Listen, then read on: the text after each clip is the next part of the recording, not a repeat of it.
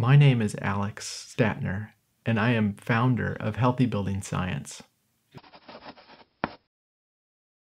Healthy Building Science provides green building consulting services and also healthy building inspections or environmental assessments based on occupant health. Healthy building inspections help people by identifying contaminants indoors uh, in water, soil, air, and educating people on how to remove these contaminants from their buildings. And sick people in sick buildings don't get better. So, by uh, identifying these contaminants indoors and helping people get rid of them, we end up helping people live healthier lives.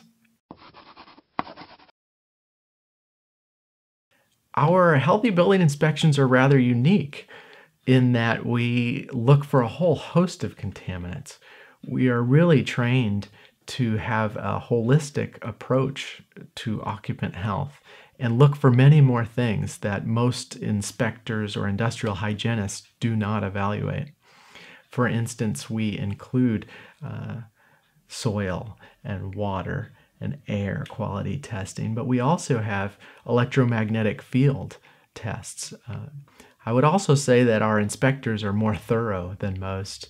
And lastly, our reports are far superior and really include a lot of detail and great photos and teach people uh, what we found in their building and very clearly lay out our recommended practices.